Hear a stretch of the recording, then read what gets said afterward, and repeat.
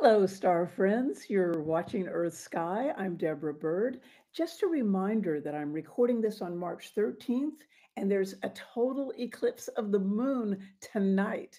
We have videos plus charts and other info, so check out earthsky.org or EarthSky on YouTube for lots more about tonight's eclipse. And I'll be back here on YouTube tomorrow to show you eclipse photos from the Earth Sky community. But I'm here today to tell you about the second big event for March 2025, and that's the equinox on March 20th. It's when the sun crosses the celestial equator, moving from south to north, bringing spring and summer to the northern hemisphere. So the news you probably have noticed is just weird all over, right?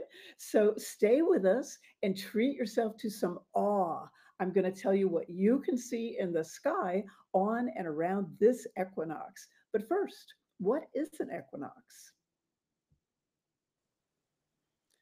Here's Earth from outer space. And thanks to NASA's space age technologies, we can see something our ancestors never saw this wonderful movement of Earth's terminator line. That's the line between day and night on the Earth over the course of a year.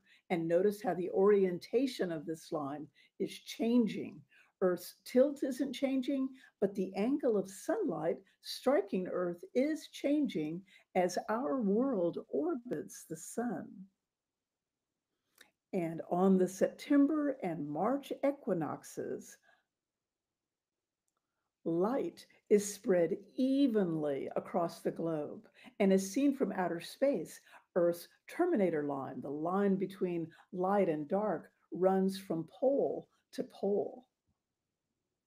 So that's one definition of equinox. It's the day that light is spread most evenly across the entire Earth. So that was the equinox from space. But what about from the ground? What can we notice in the sky around this equinox?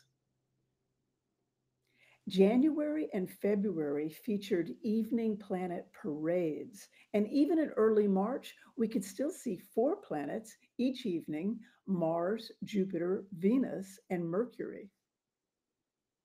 But here in mid March, Mercury and Venus are getting very near the sunset. Venus is so bright that you might still catch it.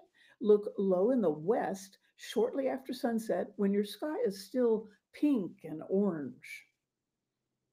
And here's an image. This is tough to see, but it's it's going to be tough to see this. This is an image of Venus uh, in bright twilight taken yesterday by Earth Sky's own Raul Cortez.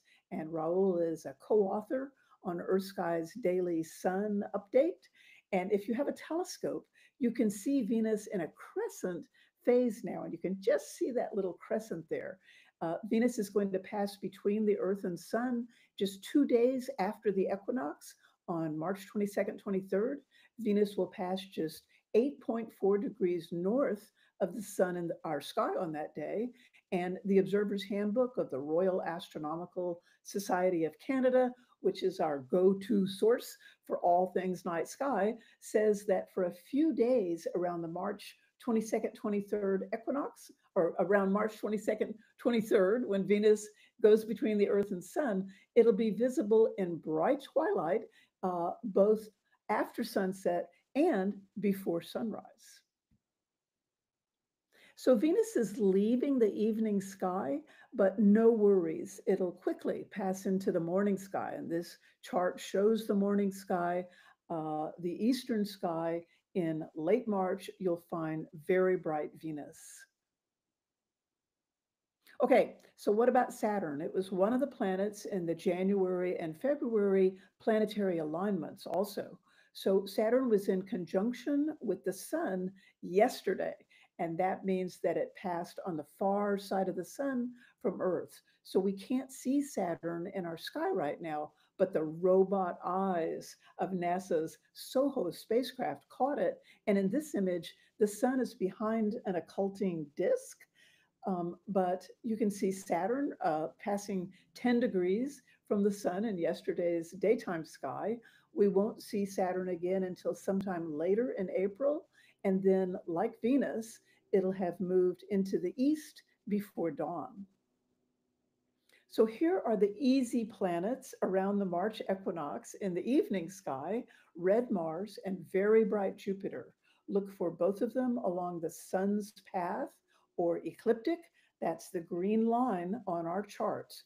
Earth is fleeing ahead of Mars in orbit right now. So Mars is getting dimmer, but it's still pretty bright and it's very red. And Jupiter is brighter than all the stars.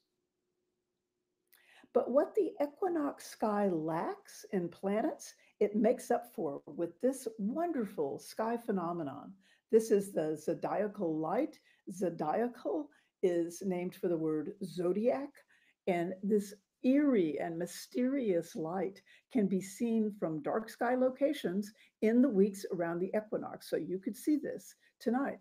This image is from Earth Sky community member Jeff Andrew in Colorado the zodiacal light is that hazy pyramid shape that you see here, that whole big structure there of light is the zodiacal light.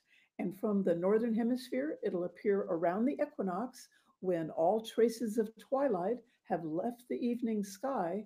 From the southern hemisphere, you'll see it in the east before dawn. So, what is this mysterious light?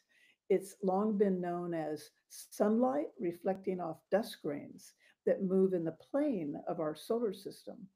Asteroids and comets were thought to be its source.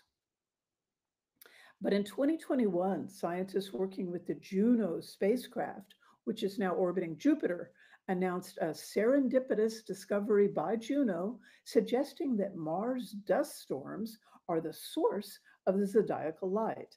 And this illustration shows how the distribution of dust grains in our solar system matches the orbit of Mars. So think of Mars and those global dust storms on Mars when you see the zodiacal light this month.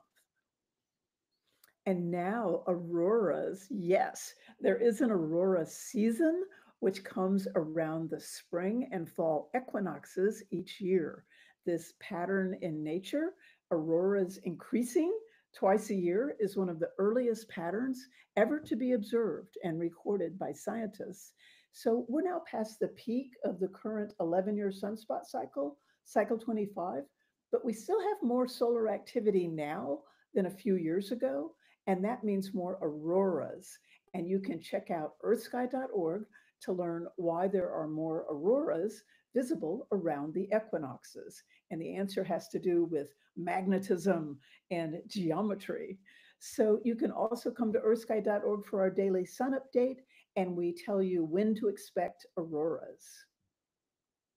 Okay, so stars uh, near the moon, using the moon as a guide, you can identify these stars. After tonight's total lunar eclipse, the moon will be waning and rising later at night. It'll be near the bright star Spica in the constellation Virgo on March 15th and 16th. And afterwards, the moon will wane so much that your bedtime might come before moonrise. So you might start seeing the moon only in the morning sky, uh, the sky visible before sunrise. And if you're up that early on the mornings of March 18th and 19th, watch for the waning moon near the stars Zubenelgenubi in the constellation Libra and the bright red star Antares in Scorpius. But an even better morning to see Antares near the moon will be the morning of the equinox itself, March 20th. And as this chart shows you, as dawn is breaking on this March 2025 equinox, you can look outside and see the moon right next to Antares. Uh, and Antares is a bright red star. It's known as the heart of the scorpion. Look up and you can't miss them.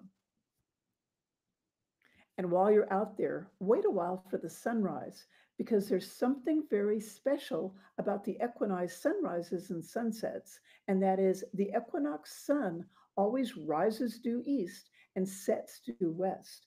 On the equinox, the sun is crossing the celestial equator, the imaginary line directly above Earth's equator. And for all of us on Earth, all of us, the celestial equator intersects our horizons at points due east and due west. So the March and September equinoxes are great times to locate those directions with respect to your favorite spot for observing. And knowing east and west will help you in your quest to see things in the night sky. And remember that Earth never stops moving in orbit around the sun. So if you do locate due east or due west, sunrise or sunset points on your horizon, you can start to track that point over time. And you'll see that as we move toward the June solstice, the sunrise and sunset points on the horizon will shift toward the north. It's lots of fun to track the sunrise or sunset point. It's super easy to do. And you can do it, for example, by placing tape on a window or along a fence line. And every few evenings, you can do that between now and the June solstice. And if you do that, uh, it'll really help you feel as if truly you really are riding on a planet orbiting a star. So that's all I've got for you today. But I'll be back tomorrow, March 14th, with images of tonight's total eclipse of the moon. And I want to thank you for watching and for helping us reach 50,000 subscribers. Wow, we love you. Thank you. One Earth, one sky, Earth Sky.